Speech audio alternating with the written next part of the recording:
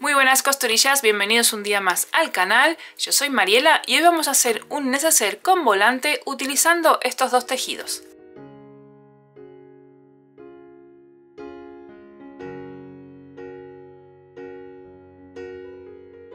En la descripción del vídeo tenés la guía de patrones en PDF para poder hacer este proyecto con las mismas medidas.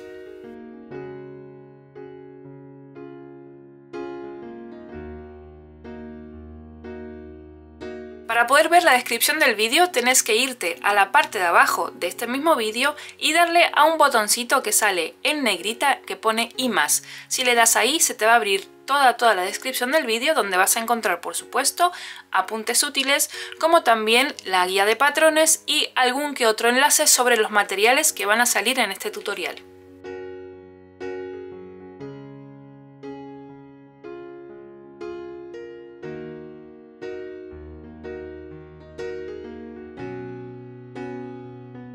Así que ya sabes, como te suelo decir siempre, si te gusta el mundo de la costura creativa, te invito a que te suscribas al canal activando la campanita para que YouTube te avise de cuando hay nuevo contenido.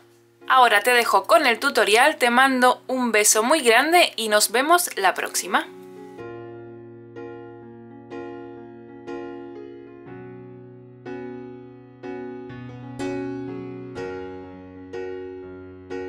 Esta vez el patrón que tenés va a ser imprimible. Como tenía una forma un poquito rara y había que hacerle unas pinzas para no complicar mucho el tema de, la guía de patrones, decidí hacer un patrón digital para que no haya de esta manera ningún tipo de error a la hora de hacer la base de este neceser. Entonces ahora en el vídeo lo estás viendo en mi formato borrador, vos lo vas a tener mucho más bonito y lo principal es que a la hora de imprimirlo el cuadradito tiene que medir 2 por 2 centímetros, es decir, lo imprimís y comprobás que el cuadradito que está dibujado mida 2 por 2 centímetros. Si mide 2 por 2 centímetros quiere decir que eh, está bien impreso y que está al tamaño real. Por lo tanto, no tendrías que ajustar ningún tipo de configuración en tu impresora. Lo normal es imprimirlo en escala real. Así que bueno, una vez que lo tenés impreso, tenés que recortarlo simplemente por las líneas para poder conseguir así el patrón base del neceser. Cuando lo tengas recortado, te va a quedar más o menos una cosita así. Y el siguiente paso va a ser cortar por la línea que está en vertical, esta de aquí, para separar el patrón A del patrón B. Ahora, lógicamente, este modelo no tiene solamente estos dos patrones, pero este es el único patrón imprimible. Los demás los vas a tener como siempre en la guía de patrones, que viene junto con el patrón imprimible.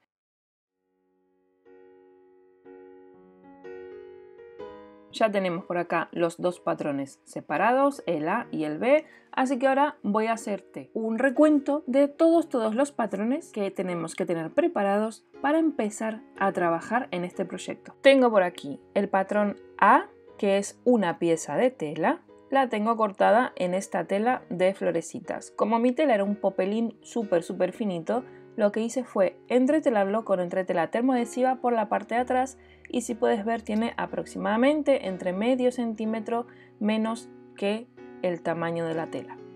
Luego tengo el patrón B, también es una pieza de tela y viene también entretelado por la parte de atrás porque era un papelín demasiado fino. Es muy probable que a esta altura del vídeo te hayas dado cuenta que no existe el patrón C, que no está por ningún lado el patrón C. ¿Qué pasa? El patrón C te lo voy a explicar más tarde cómo lo vamos a sacar. Voy a seguir ahora con el patrón D, que es una pieza de tela. Luego tengo el patrón E, que es también una pieza de tela y vamos a necesitar una cremallera de un largo aproximado de 30 centímetros. Vamos a empezar haciendo este neceser por la parte más laboriosa que sería la parte del patrón del volante, es decir, del patrón D. Por lo tanto, cógete tu patrón D y vamos a hacer lo siguiente, lo vamos a planchar bien doblándolo por la mitad como estás viendo en imagen. Una vez que lo tengas plancha te va a quedar una cosa más o menos así, dobladito por la mitad con los dos vistos buenos hacia el exterior. Lo vamos a volver a doblar por la mitad, como estás viendo en el vídeo, y vas a marcar muy bien este doblez. Es muy importante que este doblez lo marques con algún bolígrafo, marcador de tela borrable, que no le hagas ningún tipo de piquete ni nada por el estilo, porque si no luego se va a ver.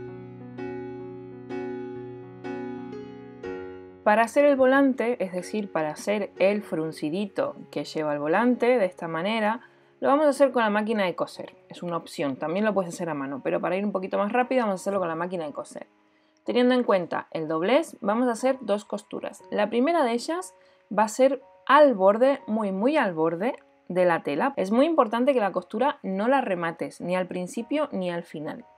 Después de hacer esa costura, vamos a hacer una más adentro a distancia de prensatelas, es decir, alineas el borde del prensatelas con el borde de la tela. Otra cosa súper importante para poder hacer los volantes es que la puntada tiene que estar súper larga, a lo que de tu máquina. La mía está a 4,5. Cuando empecemos la costura, mira lo que estoy haciendo, estoy alargando un montón el hilo. Déjalo como 15-20 centímetros largo. Eso lo tienes que hacer cuando empezas la costura, acordate que no hay que rematarla y también cuando finalizamos la costura sin rematar. Esto mismo lo vas a hacer en las dos costuras, en la que hacemos muy muy al bordecito de la tela y la que hacemos a la distancia del prensatelas. Un tip que te marco, o bueno, llámalo consejo si querés, es que el hilo que utilices para hacer el fruncido del volante sea un color que destaque sobre la tela. Yo lo estoy haciendo en blanco, pero bueno, porque estoy acostumbrada a hacerlo y, no me cuesta. Sí que es verdad que en el vídeo no se ve muy bien, pero si es la primera vez que haces este tipo de, volante o de aplique, es mejor que lo hagas con un color que resalte más sobre la tela. Ahora lo que tenemos que hacer es separar de estas dos costuras que hicimos los hilos de arriba de los hilos de abajo. Con paciencia y muy poquito a poco porque dejamos los hilos muy largos para poder hacer el fruncido del volante. Así que paciencia, los volantes requieren mucha paciencia y mucha calma como todo en la costura. Una vez que los tengas separados vamos a trabajar solamente con los hilos de arriba, es decir, con el hilo que deja la máquina de coser arriba los vamos a sujetar y aquí es importante que tengas un buen hilo, que el hilo con el que trabajes sea fuerte porque vamos a empezar a tirar para fruncir la tela. Vamos a coger los hilos y como estás viendo en el vídeo muy poquito a poco vamos a ir tirando hasta que lleguemos a la marca central. Yo te lo puse a cámara rápida, tardé un poquito porque es ir tirando y después al mismo tiempo que vas tirando tenemos que ir acomodando el fruncillo del volante para que nos quede más o menos igual. Una vez que tenés hecha la primer mitad, te vas a ir al otro extremo del volante y vas a hacer exactamente lo mismo que acabas de hacer.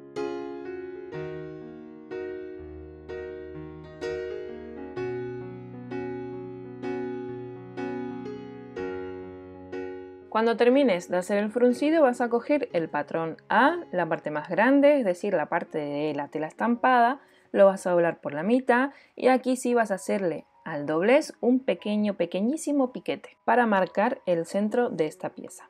Te va a quedar más o menos una cosita así. Ahora, ¿qué tenemos que hacer? El centro que marcamos en el volante lo tenemos que unir con el centro del piquete que acabamos de hacer. Unimos centro con centro dejando que el volante esté hacia el lado izquierdo y que sobresalga aproximadamente un centímetro del borde del patrón A. Ahora que está sujeto el volante al patrón A, el siguiente paso es ir desparramando todo el fruncido de este volante a lo ancho del patrón A. Cuando ya tengas el fruncillo del volante extendido de tal manera que llegue a los dos extremos del patrón A, vamos a hacerle a cada uno de los hilos un nudo a la altura que termina el volante. La utilidad de este nudo es simplemente por comodidad para poder seguir trabajando sin que el fruncido se nos pierda y que nos quede ahí cerradito. Acordate que claro, para hacer el fruncido no tuvimos que cerrar la costura, entonces si seguimos trabajando sin este nudito, es muy probable que el fruncido se nos vaya perdiendo. Cuando tengas listo el fruncido del volante bien sujeto con el nudo, ahora vamos a sujetar todo el volante a lo ancho del patrón A con alfileres. Acordate que tenés que dejar que sobresalga aproximadamente un centímetro el volante por el borde de la tela. Si no me estás entendiendo, presta atención a las imágenes que vas a verlo mucho mejor.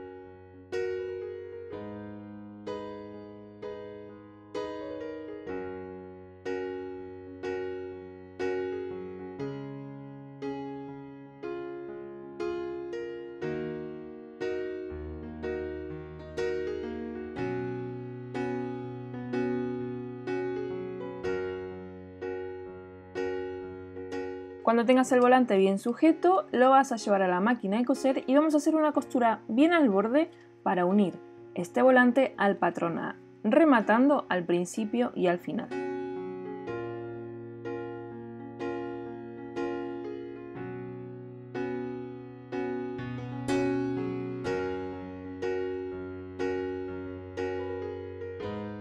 Ahora, ¿qué tenemos que hacer? ¿Te acordás que al volante le hicimos dos costuras largas? Bueno, pues una de las costuras es muy probable que se quede a la vista, entonces tenemos que quitarla. Cogemos un descosedor o un cortahilos, con lo que te sientas más cómoda, y vas a ir quitando estos hilos. Como la costura la hicimos larga y no la cerramos, va a ser muy fácil que los quites. Simplemente cortás, tirás y va a ir saliendo. Aquí está el tema de que utilizarás un hilo que resalte sobre la tela para que puedas verlo mejor.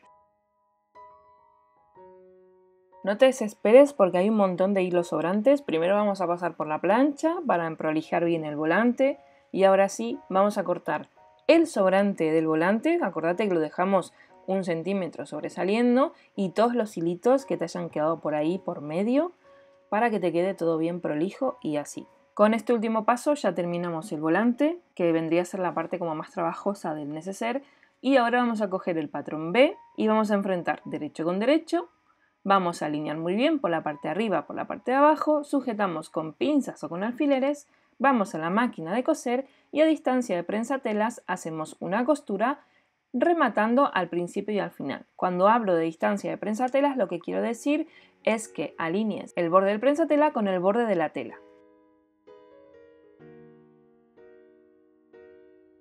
Cuando termines esta costura lo vas a ver de la siguiente manera. Tenemos dos costuras. La primera que es con la que sujetamos el volante al patrón A y la segunda con la que sujetamos el patrón B al patrón A. Vamos a pasar por la plancha llevando el margen de costura hacia el lado del patrón A para que el volante nos quede hacia el lado del patrón B. Vamos a acomodar muy bien el volante, lo planchamos y ya te lo traigo aquí planchadito. ¿Ves?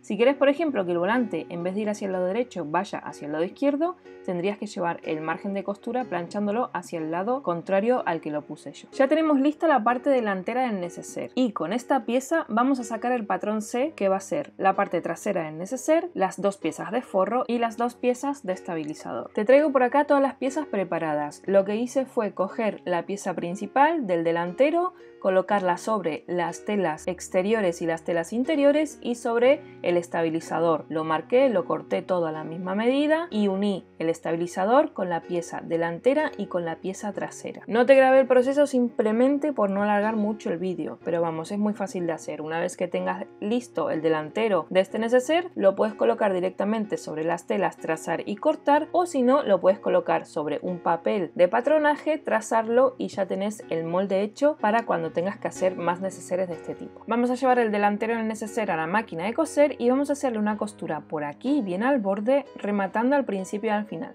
Esta costura la hacemos para que el volante se nos quede ahí bien fijo y con el uso que le vayamos a dar al neceser no se nos cambie de posición.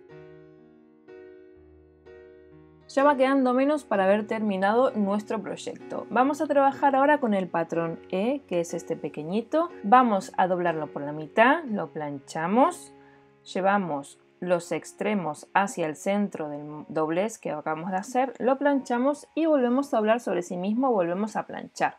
Cuando lo tengamos bien planchado lo llevamos a la máquina de coser y hacemos dos costuras al borde, rematando al principio y al final.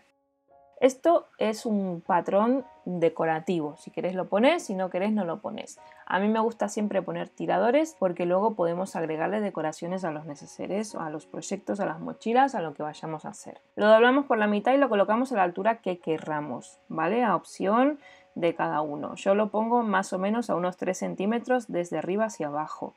Si quieres que te quede más largo, alineas el borde de este tirador con el borde de la tela y si quieres que te quede más cortito, en mi caso, lo dejas que sobresalga un poquito y cortas el excedente. Si tenés alguna etiqueta de marca, es el momento de colocarla. Yo trabajo con las etiquetas que me hace Silvia de Se hizo la magia. Te dejaré el enlace, como siempre, en la cajita de descripción por si estás interesada en adquirir este tipo de etiquetas. Cuando tengas el tirador y tu etiqueta listo, lo llevas a la máquina de coser para dejarlo bien sujeto. En mi caso voy a cortar el sobrante del tirador ya que no nos hace falta y por supuesto todos los hilos que nos queden ahí por medio para dejar el interior del proyecto bien prolijo.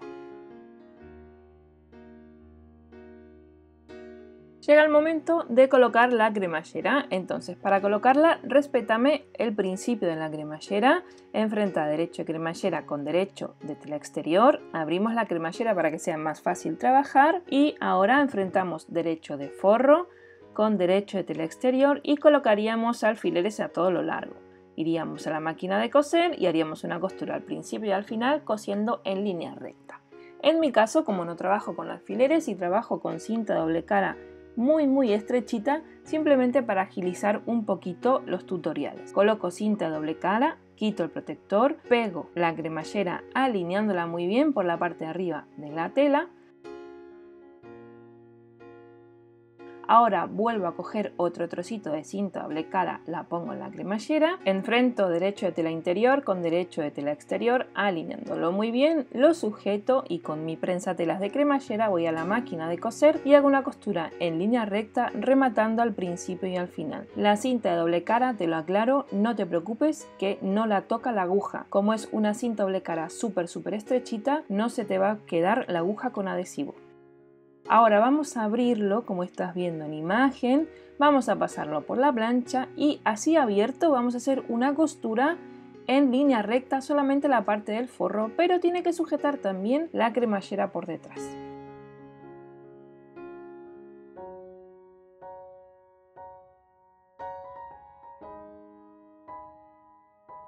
Cerramos la cremallera si la teníamos abierta, llevamos el forro hacia atrás y vamos a ir a la plancha insistiendo mucho con el vapor para que quede así de planito el tema de la cremallera. Tenemos que bajar el margen de costura y eso se consigue con la plancha y con vapor. Vamos a colocar ahora la parte de atrás del neceser, enfrentamos derecho con derecho, alineamos muy bien por la cremallera y por los laterales y derecho de forro con derecho de forro Hacemos el mismo procedimiento y las mismas costuras que hicimos antes. Sujétalo con alfileres o con cinta doble cara como te sea más cómodo.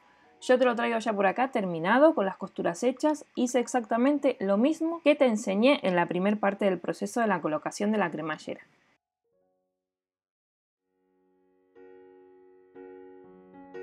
Ya tenemos la cremallera colocada y antes de cerrar el neceser vamos a trabajar con las pinzas. Vas a coger el exterior, lo vas a separar del interior y vamos a enfrentar, como estás viendo, derecho con derecho uniendo las pinzas y teniendo muchísimo cuidado de que queden bien alineadas, tanto por el lado de la pinza como por el lateral. Esto lo vas a hacer en todas las partes del neceser, las cuatro pinzas exteriores y las cuatro pinzas interiores.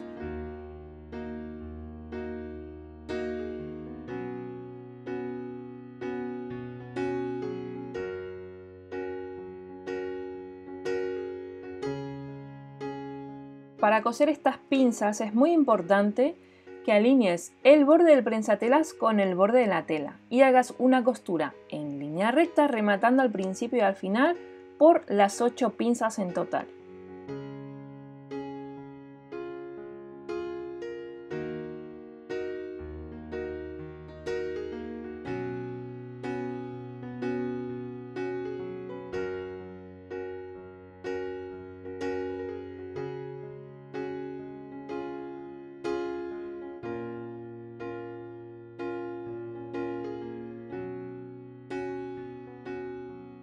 Si alineaste el borde del prensatelas con el borde de la tela, la pinza te va a quedar cosida de la siguiente manera. Si te das cuenta, la costura llega un poquito más arriba de lo que llega el corte de la pinza. Entonces, ahora lo que hacemos es con un corta hilos que esté bien afilado, vamos a cortar un poquito, un poquito, medio centímetro, la pinza por arriba, simplemente para que luego podamos abrirla de esta manera, plancharla y que quede mucho mejor asentada.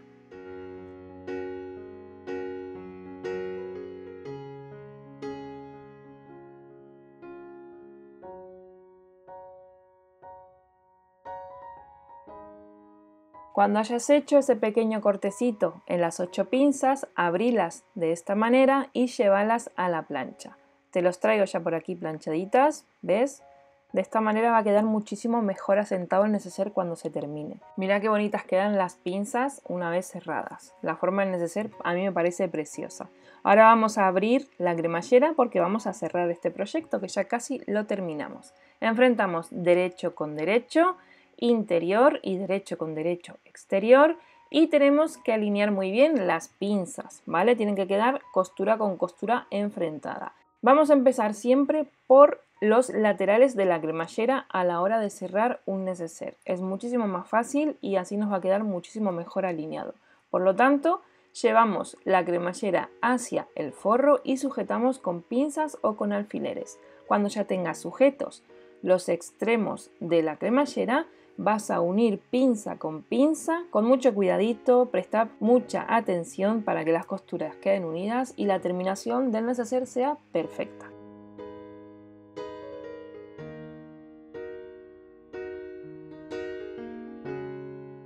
Una vez que tengas ya todas las pinzas bien sujetas, ahora sí puedes ponerle todas las alfileres o todas las pinzas que quieras alrededor de todo el neceser. En uno de los laterales del forro vas a hacer dos marquitas con una distancia aproximada de 4 dedos tuyos y por aquí no vamos a coser. Vamos a ir a la máquina, vamos a empezar por una marca, rematamos costura y cosemos todo, todo, todo alrededor. Ten mucho cuidado cuando pases por encima de la cremallera, anda más despacio para que no se te parta la aguja y llegamos a la siguiente marca y rematamos la costura.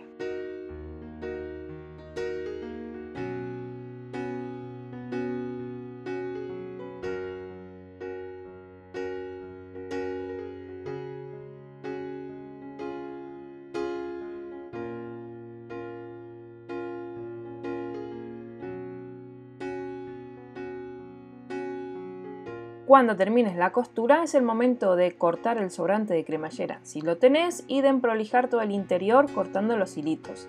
Ahora, por el hueco que dejamos, vas a darle la vuelta muy poquito a poco a tu proyecto.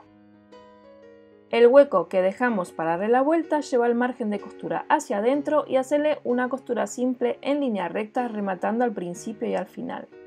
Mete el forro hacia adentro y lleva tu neceser a la plancha para acomodar bien todas las costuras. Ya te traigo por acá el neceser terminado a falta de ponerle opcional por supuesto una decoración en la cremallera. Voy a utilizar este ganchito en forma de D y estas tres cintas que me parece que quedan geniales con el color de las telas del neceser. Para trabajar con este tipo de arandelas, a la hora de abrirla y cerrarla tenemos que hacerlo de forma lateral, como estás viendo en el vídeo. A mí esto me lo enseñó una amiga porque yo antes la abría a lo largo, por así decirlo. Pero claro, al abrirlo a lo largo, cuando tenía que cerrarla, la arandela se me deformaba. Si era circular, me quedaba un óvalo y me quedaba fatal. Cuando ya tengo la arandela colocada en el tirador de la cremallera, simplemente acomodo las cintas como creo que quedan mejor o como a mí me gusta, lo paso por la arandela, las vuelvo a acomodar doblándolas por la mitad para que queden bien colocadas una sobre la otra, sujeto con una pinza y me voy a la máquina de coser y le hago una pequeña costura rematando al principio y al final unas pocas de veces y de esta manera nos quedan las cintas muy bien colocaditas en nuestro neceser con volante. Y bueno, hasta acá llegó el vídeo. Espero de corazón que hayas disfrutado de este tutorial. Si es así, no te olvides de regalarme un like y de comentarme algo bonito que me encanta leerte. Si quieres compartir el vídeo en tus redes sociales, me ayudarías un montón al crecimiento del canal para poder seguir creando este tipo de tutoriales. Si estás acá sin suscribirte al canal, no te olvides de hacerlo y de activar la campanita para que YouTube te avise de cuando subo nuevo contenido. Sin mucho más que decirte, te mando un beso muy grande y nos vemos en el próximo tutorial.